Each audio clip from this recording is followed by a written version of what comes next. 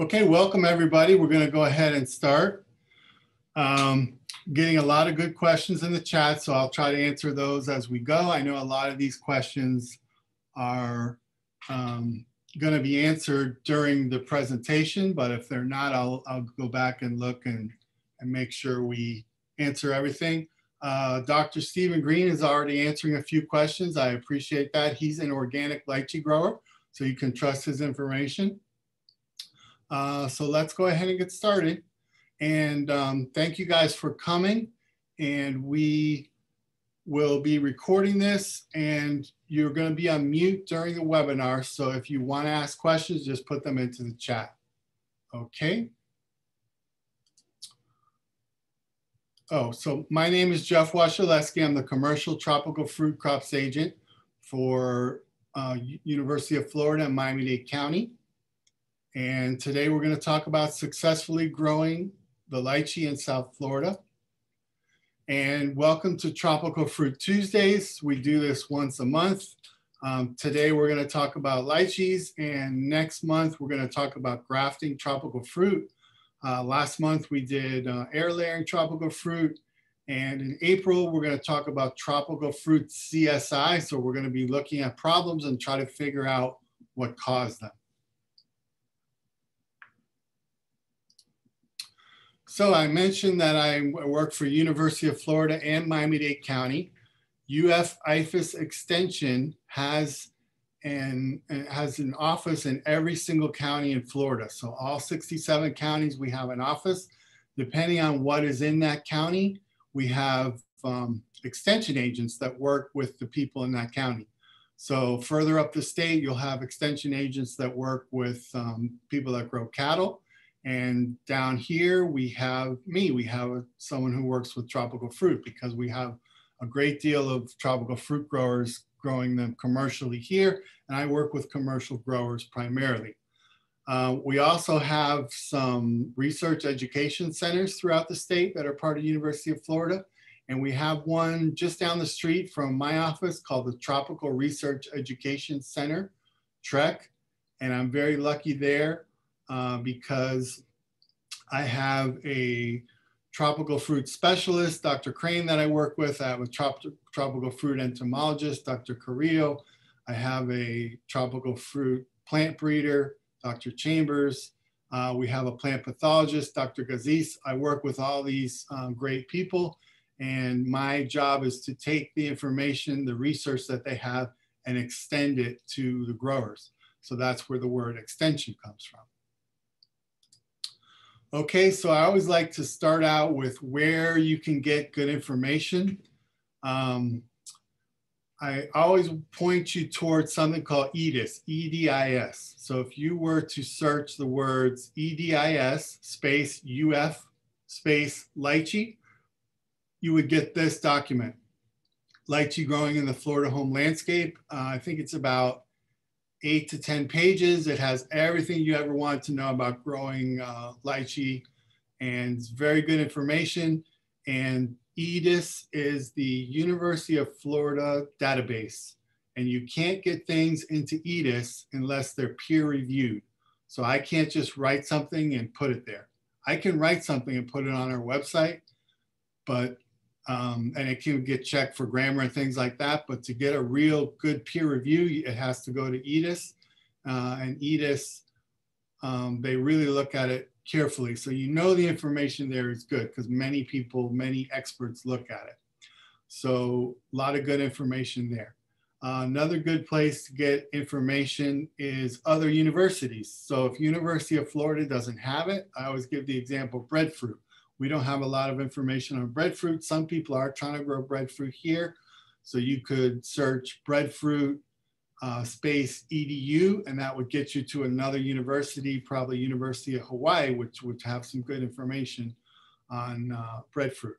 So you can usually trust other uh, universities. Very good information. Okay, uh, YouTube YouTube, of course, you can get plenty of bad information there, but there's a lot of good information. Uh, you're gonna, the thing I really like about it is you can actually see what they're, what they're teaching you. And if you watch three, five, you know, or so videos on the same subject. You kind of get the overall idea. And I have TFT there because all the Tropical Fruit Tuesdays, except for today, are on uh, YouTube. So if you were to go to YouTube and use their search bar and just put in Tropical Fruit Tuesdays, you'll find all the other ones. We have one on avocado, mango. Um, we have one on um, mamey. We have one on planting. We have one on pruning, many different types of propagation. So lots of good information there uh, on Tropical Fruit Tuesdays YouTube section. Okay, another good place to get information is Master Gardeners. I know for a fact that we have some Master Gardeners um, that are watching today and listening. So thank you guys for being here and thank you for all the work you do. Um, probably the best place for you to get information is your own garden or your own grove. If you see it with your own eyes, you know it's true and you should be out there scouting, you should be out there looking, this is how you find problems. This is how you figure out what went wrong by, by scouting and looking into your grove. We're going to talk today about the lychee erinose mite. And one thing you really need to do with that is scouting to be looking for it. Uh, and then finally, beware the source, beware of where you get your information, because obviously not everything uh, is going to be great information. And not everything is true that you read. Okay, so we're talking about lychee, Litchi chinensis, and I call it lychee. Some people call it lychee. Both are correct, so don't worry about that. I'm sorry if you've heard lychee all your life and now I'm saying lychee and it's really messing with you. I do apologize. Okay, so it's in the Sapindaceae. So other fruit that are in that family that are related are longan. That's one we have here. The trees look very similar, but the fruit are very different. Uh, rambutan, that's ultra tropical, and so is uh, pulasan, so we can't grow those here. Uh, we also have um, ackee that's in the family. Uh, we and ackee is is loved by uh, Jamaicans, and we did have a Jamaican question here from Anna. I've heard that lychees are popular in Jamaica. Is it okay to bring them with me if I travel to Jamaica. Uh, you're going to have to declare them, so make sure you do that. Okay, so the, um, the, the flowers are either male, female, or sort of this combination male called an M2. This is what they'll look like. And depending on how much cold we get, you can get all males or you can get males and females. Obviously, you need the females uh, to get the fruit. So here's pictures. On the left, you see some males you can see there. Um, and then on the right, you have uh, females. So if you look at the panicle really well, you can see, sorry about that, you can see if they're male or female. And what you're looking for is lots of females because that's where you're gonna get your fruit. It looks like there's a bee right in there doing what they do best. Okay, so here's a close-up of the male, female. Okay, and here's some young fruit that are setting before they turn color. Okay, so we had some questions about uh, where or when you can buy fruit. So the season in, in South Florida is May to June. And there are two main cultivars, Mauritius and Brewster. We did have another question, what's the best one that will um, give you fruit? And it's definitely Mauritius. I'm gonna show you a whole list of different um, lychees that are grown, that can be grown in, in South Florida, but really Mauritius is the, the one that if you're gonna get fruit, you're gonna probably get it from Mauritius. And it is difficult to get fruit from lychee. This is not in the easiest uh, tree to get fruit from. And we'll talk about the cold that it needs in order to set fruit uh, and to, to bloom. Okay, and the percent of fruit set varies from zero to 50%. You're gonna get a lot of zeros if you have a lot of male flowers. And fruit maturity is determined by color, size, taste, and the Brix, which is a measurement of the sugars, which is the sweetness. Okay, so look at all these different cultivars here. And like I said, Mauritius is really, if you're gonna take a shot, Mauritius is the one that you're gonna wanna try to, to grow.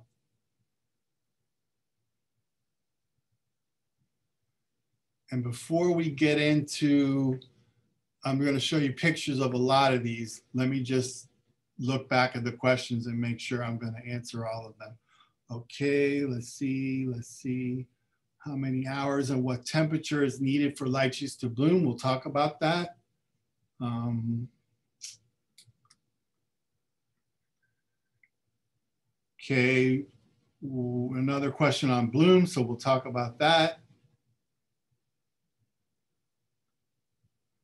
Um, Ms. Wilcox asked what variety grows better here, so we answered that already. And David asks, I think he's asking where are lychee fruit native? So you have the name Litchi chinensis, so that kind of gives you a clue. I'll leave that there for you. Okay. Uh, Robin asked if this will educate beginner gardeners. We'll give it a shot. Um,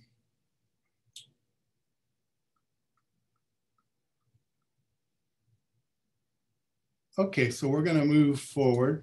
And here's some of the, the different cultivars. So the top left there, you see Mauritius and Brewster. Mauritius is gonna be a little earlier, Brewster's gonna be a little later. And they are, um, those are your two commercial uh, cultivars. And really, like I said, Mauritius is gonna be the one that's going to give you probably a better chance of having fruit. It's not definitely going to give you fruit. Uh, let's see, Bengal, that's another one that's sometimes grown, Bosworth, early large red. Emperor is, is large. If you look at that quarter, it's a big fruit.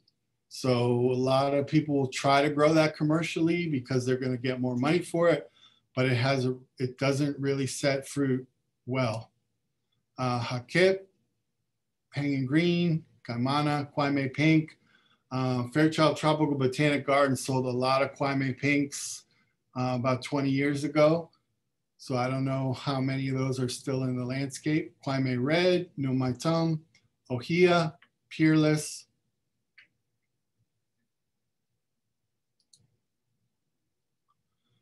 Seymour, Shanchi, Sweet Cliff, Yellow Red.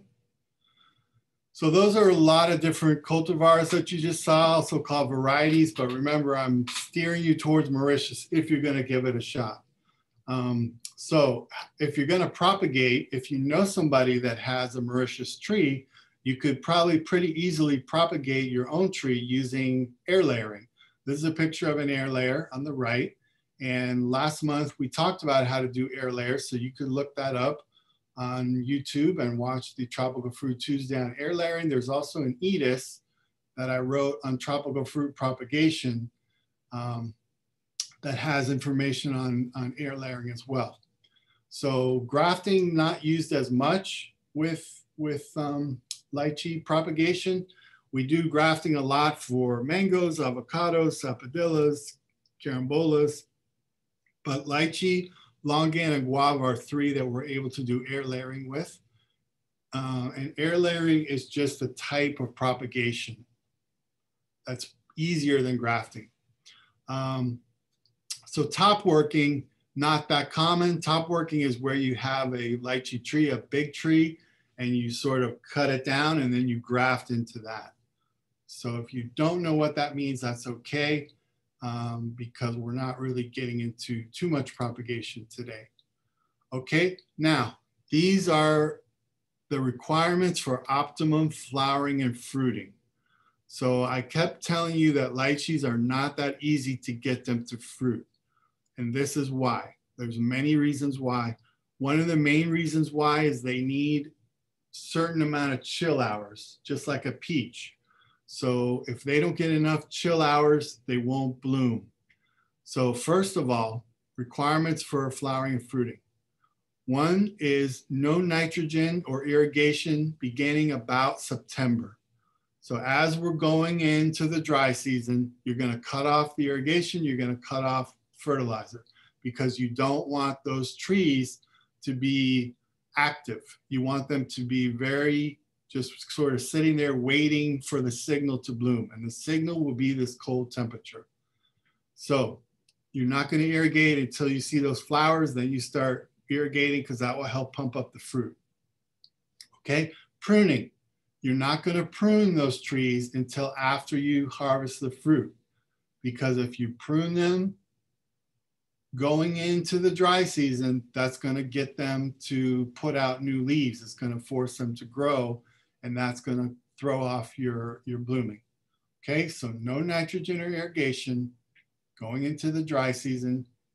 Irrigate only when flowers emerge and prune after harvest. So these are three things to remember. Okay, so here was the, the answer to the question of how much coal do they need? And I'm getting these numbers from a paper that was in the Florida State Hort Society proceedings that was written by Dr. Jonathan Crane, who works over at the Tropical Research Education Center. So they did a study of how many hours at what temperature and how well how well the trees fruited at those temperatures. And they did it with Mauritius. Okay, so at or below 55 degrees, you need 180 hours of that temperature at or below 55 degrees. And that's, you know, starting September to, to let's say now. Um, at 60 degrees, you need 390 hours. So the lower it gets, the less hours you need. So that's a lot of hours. Now we have a system called FAWN. It's a U University of Florida weather data system. And you could go there and look up to see, um, but we have a question from Anna. What happens if we don't get a string of cold fronts and the hours aren't met? You're gonna get a very spotty bloom and you're probably not gonna get a lot of female flowers. So you're not gonna get good, good fruiting. Uh, I've, I've, had a lot of questions um, that people have, are having trouble with their their lychees not getting flowers and fruit and it's usually it's the cold we're not getting enough cold this year if you if you paid attention we've gotten a lot of cool weather okay um, so dr green is saying there's now later slightly different information on chill hour requirements so I'm going to unmute him in just a second and he's going to give us that information.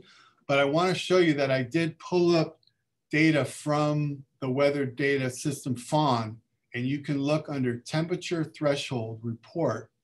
And from November to February 1st, we've had 181 hours below 55 and 393 below 60 at or below. So that hits these criteria 180 and 390. And if you look at all the lychee around town, they all have uh, bloom. So let me see if I can unmute Dr. Green and we'll have another voice here. Okay. There you go, Dr. Green. All righty. Thank you, uh, Jeff. So the information on chill hours is true, but it was a study of correlation is that they found um, fruiting when there was a certain number of hours below certain temperatures. But in fact, that's just a rule of thumb. The mechanism is that there's a, there's a few critical days during that dormant period during which the temperature must be low enough. And we don't know which days those are. They're not predictable and they vary tree by tree and location by location. So by giving a broad overview, if it's cold enough, long enough, then the chances increase that your trees have it critically low at exactly the right time. The mechanism is that when the buds are dormant during the winter, they can then, when they when they shoot out at the end of winter, uh, they can either become leaf uh, um, shoots or flowering shoot panicles. And it depends on two hormones. One um, produces leaves and the other suppresses the leaf producing hormone and encourages the, uh, the, the flower and, and hence fruit producing hormone. And it's only when it's low enough at exactly the right time when those hormones are needed that, uh, that it determines whether the, the shoots become leaves or flowers. So that's a good rule of thumb. But in fact, there's probably only a one or two day period in the entire winter where it has to be low enough for your particular trees, depending on the on their stage, to uh, uh, to experience the cold that will suppress the leaf producing hormone and thereby let the uh, uh the uh, flower producing hormone uh, have effect. So it's not so much that the trees need that period of low temperature for long enough. It's rather that that increases the chances that your trees will have the cold weather exactly when they need them. Thank you, Dr. Green. And go ahead and uh, mute yourself again if you could. A uh, few more questions and comments in the chat. Uh, Anna says, seems that there are implications for lychee as the climate continues to warm. Definitely. Um, going to be harder and harder to get them in South Florida, but that means that commercial groves can probably move a little further up the state. Uh, Celso asked, do the total hours have to be continuous or cumulative? So the answer is cumulative. Uh, Robin asked, are lychee self-pollinators? Uh, yeah, you can get fruit with just uh, one tree, but you're gonna have better chance with more than one tree. And Brian asked, do some varieties require less chill hours than others? I would say, I don't know the answer to that, but I would say it's probably yes. And that's why you're getting Mauritius with better fruiting. Uh, and then remember what Dr. Green said, it also depends on what stage the, the flowers are at and the hormones, etc. Okay, so pollination. Um, I see Dr. Green is asking us or answering about pollination there in the chat as well. Lychee flowers are predominantly pollinated by insects, mostly honeybees, and hives are sometimes placed in the groves during flower period. So these, these slides kind of talk about what I talked about before. Nitrogen fertilizer, you don't want to put that out as we're going into the dry season.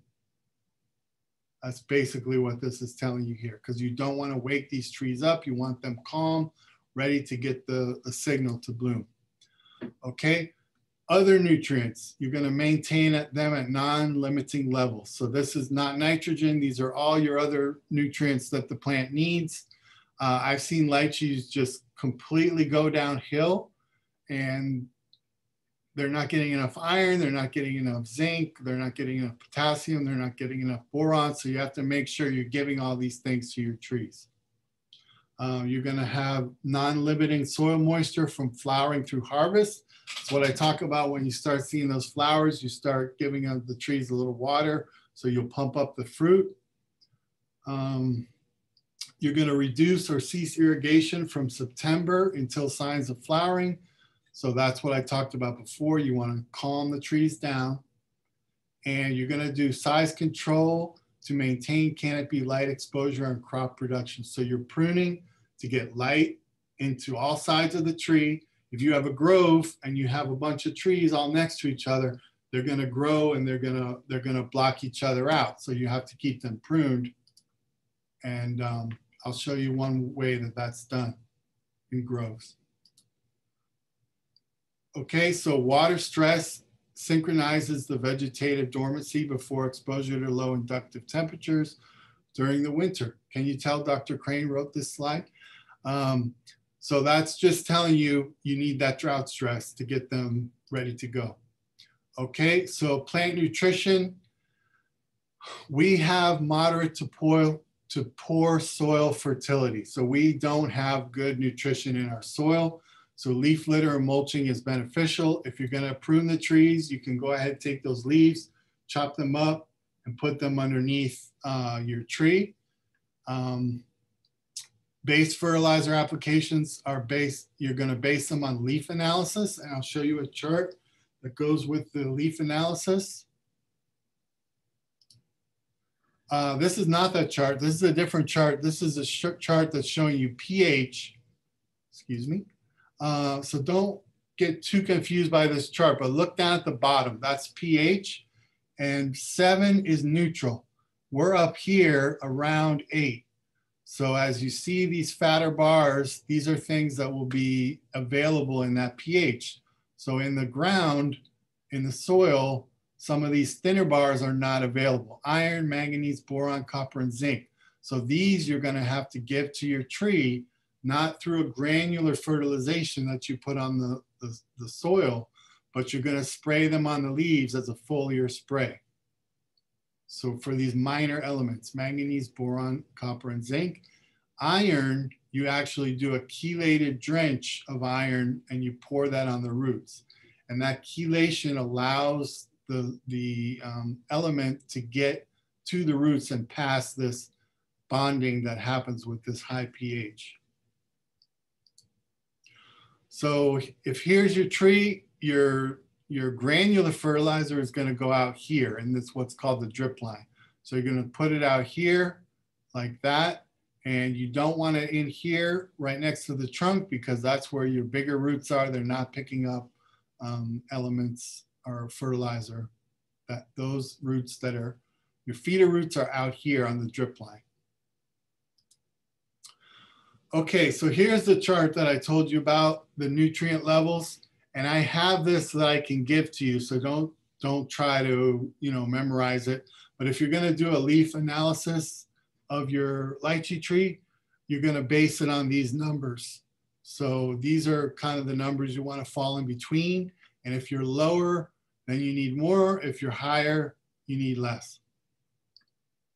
So I have this, I have this for for lychee, I think avocado, I think carambola, definitely mango. So if you need those, you can email me and I'll, I'll give those to you if you're gonna do leaf analysis for your nutrient levels. Okay, so I talked about pruning and why you want to prune because you want to get light to your, your trees. So here's a machine that is doing something called hedging where they cut the sides and you see it's at an angle. This top left is at an angle. So that way the top will get sun and the bottom will get sun because it angles in towards the tree.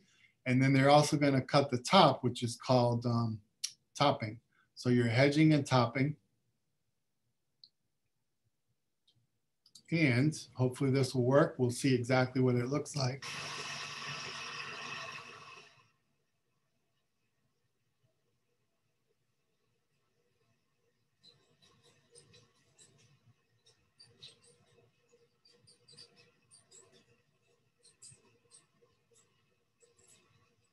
So this is a hedger.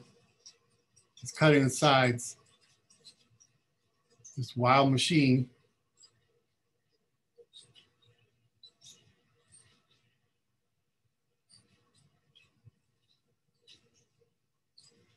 And if it's not sharp enough, you it'll kind of tear the branches a little bit. So you don't want that. You want it nice and sharp. You see there's a tear sort of right there in the top right. So that's going and, and doing what's called hedging. I think they're not cutting off enough in this picture because you still have a lot of shade in there. I would have gone a little, little harder.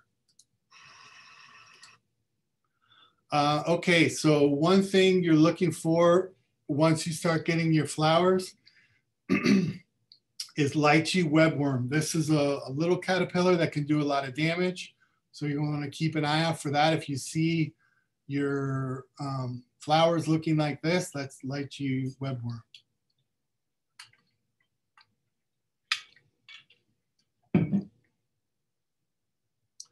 And up until now, that's been about the worst problem that lychee have had as far as insects and pests until now.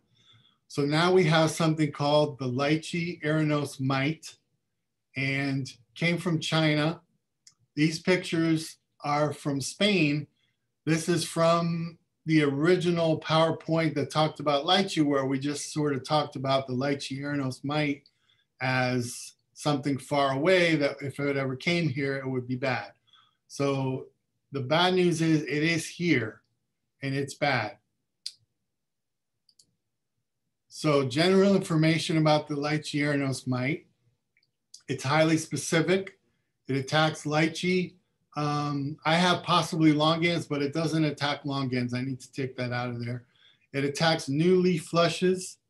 and they're the most susceptible. It also will get on the flowers and the young fruit. You see in this picture, that sort of white fuzz on there, that's the light Lychee mite.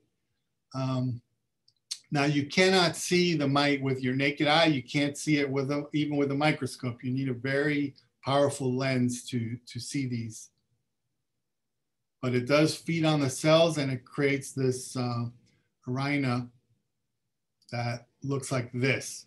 So I've been getting people sending me pictures of this and it's very clear that they have the Lychee mite. So it forms, it also forms these blisters. If you look at this leaf, um, these lip, the bottom left here, you see these blisters. That's another sign of the Lychee mite. And then it progresses to this hairy mass. So if you have this hairy mass, excuse me, you've had Lychee mite for a while. They feed on the fruit, flowers, and they're small enough to move by air currents and honeybees. So this is very, very scary stuff. Now, Florida is the leading producer of lychee in the country, and a high percentage of that production is found in Miami-Dade County. The history of the Lychee mite in Florida, 1955, it was in Sarasota County. They wiped it out. 1993, it was in Coral Gables. They wiped it out, eradicated both times. February 2018, it was found in a three acre commercial grove in Lee County. Right now, Lee County is on quarantine for their lychees. Um, and now it is in, I have eight counties here. I should update that. It's actually in uh, 13 counties. So here are areas where lychees are commercially grown. Everywhere you see a star, and that's about how many acres of, of lychees you have being grown commercially. Here is everywhere where we have Lychee mite, including Miami-Dade County. We just found it last year in Miami-Dade County. Um, so I have it in 13 counties, but I have 12 in parentheses because on the FDACS website, it lists 12 counties, but when you look at the map, it's 13 counties. So I think 13 is probably correct. So everywhere you see one of these little um, mites, that's, that's where we have fines at the moment. So all through here and then up here. So we can probably guess it's in St. Lucie and Indian River too, and probably in some of these other counties. So what do you do if you have it? Well, first of all, contact me and contact FDACS. If you want to just contact me, um, that's, that's good because I'll contact FDACS and they'll come out and they'll look at it. They'll test it to make sure it is like Lychee mite. And um, then they'll, they'll try to help you with some of these treatments. So one thing you want to do is prune off the areas with light Lychee mite. Um, and this is if, if FDACS can't help you. If FDACS is probably going to contract to have these things done, so you don't need to do them uh, at the at this moment, but you do need to contact me and possibly FDACS if you want to. Um, but this is what they're probably going to do. They're going to prune the areas with Lychee mite, then they're going to burn or bury those plant debris. They're going to spray sulfur after the removal of the plant parts, and the sulfur is down here in the bottom. It's um, that's the one that is is labeled, has an emergency label. Um, then you're going to spray sulfur at bud break and in a 15 day interval, interval. This may take up to 90 days and eight applications. So very difficult to, to take care of once you have it. So this is something that I want you guys to be looking for, scouting for. We're trying to eradicate it from the state, but as you see, it's quite spread throughout the state. So it's going to be a very difficult um, proposition. Those other times I told you we eradicated, it was a much smaller outbreak. It was in one area and much easier to control. So if you suspect you have it, here's my email, there's my phone number. Um, you probably all have my email from getting an email about this, this class. So you can just email me, send me pictures if you can. Um, I just want to mention bird damage because I get a lot of questions on this. It's very difficult to to take care of or to stop bird damage. Some some have bagged, some have used netting, um, but it's it's difficult. So I just want to let you know that I think bagging's definitely out of the question with all the labor issues, but netting is something possible if you're really having a lot of bird issues. Um, I'm going to go through this real quick because we're about at the end here, but we did have a question earlier about where to plant. So you want to make sure your tree is getting full sun. I talked about pruning to get full sun. Sun gives the tree the energy to make the flowers and the fruit. So plant your tree somewhere where it's going to get full sun. Don't plant it too deep. If you plant it too deep, you're going to have issues. Uh, we talked about proper nutrition and water. So make sure you follow those, those steps. And this is a chart that you'll see at the back of the EDIS document on growing lychees. So it has, a, it has January through December and um, it tells you when to look for disease, when to look for insects, when to fertilize, when to use micronutrients, when to put out iron, even when to mow, when to use herbicide, when to irrigate, when to harvest, when to prune, when to look, when to do frost protection. So this is a good chart to have and it's right there for you if you just search EDIS space UF space uh, lychee and we have them on mango, we have them on many different, have them on avocado, we have them on uh, carambola, dragon fruit. So good information. Okay, so like I said, we're we're right at the end here. So I just want to put out a plug for grafting tropical fruit March 2nd and tropical fruit CSI April 6th.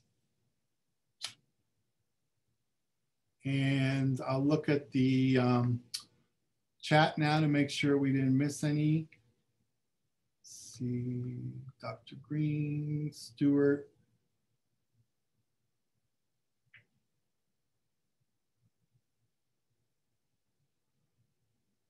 So the only other question was about small ants on the branches and the trunk. Is there a simple solution to get rid of them? Um, there is something, there is a, a sticky substance that you can put around the trunk of the tree so they can't get up the trunk. Um, so there, that's something that you can, you can do if you really don't want the ants on your tree. Okay, so thank you guys so much for coming.